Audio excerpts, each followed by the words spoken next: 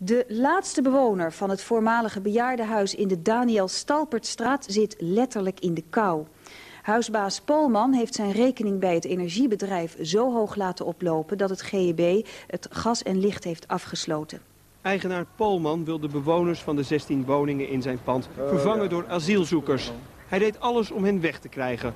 Polman vroeg zeer hoge huren. Toen het stadsdeel Polman daarop aansprak, liet hij gas en licht afsluiten. Maar het is ook zo koud. Je ligt of onder een dekbed of je, je... Ik zit zelfs met handschoenen binnenaan. Je kan, niet, je kan niks warms maken. Dus we gaan veel weg op visite dan maar weer. Of, ja, het is aanpassen. Het is een soort ongewenste vakantie. Ik, uh, ik heb geen idee waarom hij dat gedaan heeft. Misschien de pesterijen.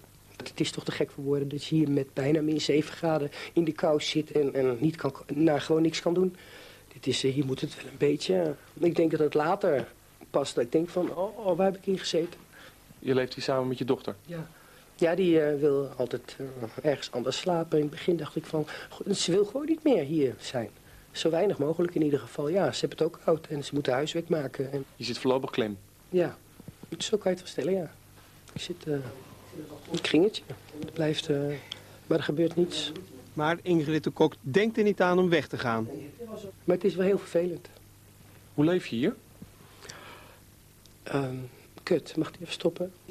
Eigenaar Polman wilde vandaag geen commentaar geven. En het GEB staat machteloos.